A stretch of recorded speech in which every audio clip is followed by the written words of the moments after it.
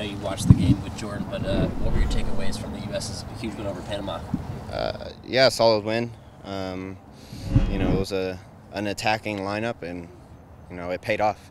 You know, sometimes attacking lineups can can hurt you, but you know I thought the the tactical piece that, that the coaching staff brought to the team was uh, was great. You know, they were unafraid of, of going going after Panama. Um, they thought that they would, might might sit back. Uh, unfortunately, or fortunately, what, that wasn't the case. But um, yeah, I thought uh, tactically they were they were very sound. Uh, what does Bruce do um, to get you guys focused and ready for, for huge games?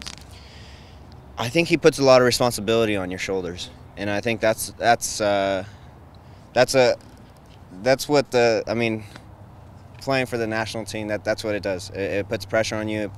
It, gives you responsibility. You know, you have a whole nation that's that's watching you. So there's a lot of pressure, and you know, guys are committed to to, to the team.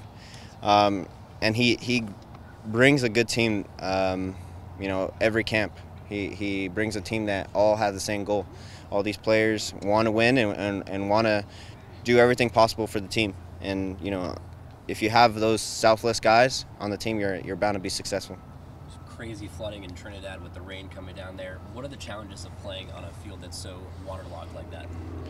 Yeah, just I mean, playing in Trinidad is no joke. Um, you know, all these CONCACAF teams are are incredibly hard to play at home. Um, you know, the atmosphere, whether the field, you know, the, the conditions, everything, you know, it just makes it more difficult. But, you know, having a swamp on your field doesn't help. Uh, you know, the, the game might not be pretty. Uh, I don't know how much the water has cleared up, but uh, if there are still puddles, you know, it, it, might be a little bit difficult to, to play, you know, good, good football. Last year, during the playoffs and going into the playoffs, you guys had injuries, guys having to step up, guys playing through injuries. Do you feel like kind of at this point in the season this year, you guys are a little bit more set up physically to take on the grind coming up here?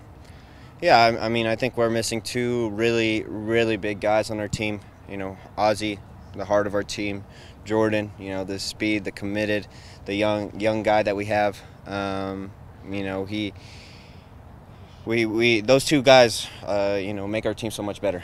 Um, but like you said, um, you know, other than those two, maybe Brad. Brad is uh, again another guy that's uh, committed to the team. You know, he has been our captain for a long time, um, and just you know can't can't catch a break. But you know, we have pretty good depth, I think. Um, you know, this year we have Victor, we have Lamar, you know, we have Harry, who who hasn't played very much lately, but those guys are all you know, quality guys and can be put in a lineup uh, at any point. And you know, going into the playoffs, you need those guys. Um, last year we saw Erik Friberg coming in, and then Ivanschitz coming off the bench, or Flacco coming off the bench. So, yeah, a, a bit a bit different for sure. Um, because I think we have much uh, much better players, you know, throughout our, our roster. You guys played Dallas a couple weeks ago in a 0-0 draw. What did you learn from that match that you can use uh, hopefully this Sunday? Yeah, well, they're they're a quality team. You know, they they catch you on the break.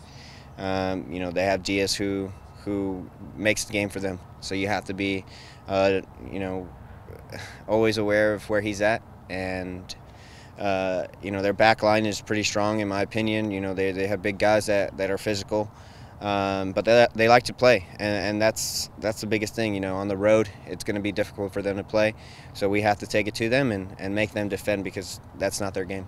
You guys had a few days off after the um, game in Philadelphia uh, last week, and now heading into this weekend against Dallas. What have you guys been working on in the in the last couple days um, heading into this weekend?